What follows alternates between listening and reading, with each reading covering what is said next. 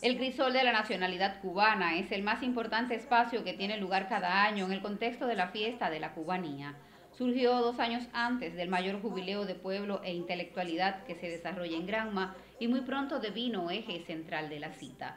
La doctora Olga Portuondo es una de las investigadoras que acompaña el desarrollo del evento desde sus inicios hemos disfrutado de una serie de ponencias importantísimas con relación al tema de la cubanía, pero de verdad de la cubanía en el estudio profundo de la misma en lo que se refiere a la presencia afro, a la presencia del aborigen y de lo hispano en ese proceso de hibridación tan importante que representa, se expresa en las personas, pero fundamentalmente en nuestra cultura. La próxima edición del Crisol tendrá como tema las luchas históricas del pueblo cubano por la soberanía nacional. Con ello se honrarán los 155 años del inicio de la gesta emancipadora en la mayor isla antillana.